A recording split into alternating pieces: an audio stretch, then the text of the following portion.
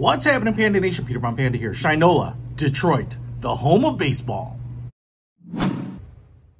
Oh, you didn't know that? Kirk Gibson, Detroit Tigers. Yeah, I'm surprised you didn't know that. Look at this. I just bought something. It's from Shinola, Detroit. And it's not that big. It's not a watch. It's a, I don't know if it says there. Oh, it does. Baseball. $40 from Shinola. And what you get is a baseball. And, ooh, you get this little uh, stand here too. It's a little wooden donut.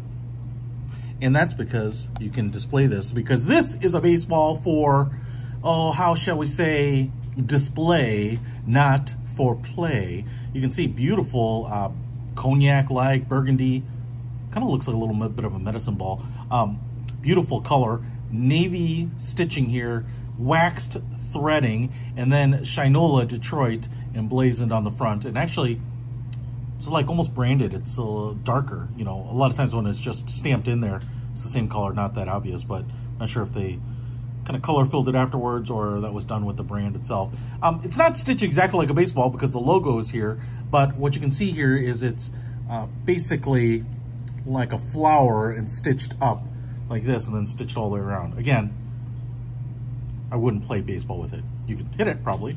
And from a size standpoint, you know, here I get the, so I'd put the curve on and then I'd, I'd do like this to do the knuckleball, you know. Um, I never played uh, big leagues myself because it just uh, was ripping up catcher's gloves when I was throwing them like 125, 130. Eh, you know, it's what you, it's what happens when you got an arm like me. So if you want to pick this up and display this just like this in your office, on your desk, whatever, you certainly can. It's pretty cool. Oh, I should say these are American made. I believe they're uh, manufactured, kind of sewn together by a company in New Jersey.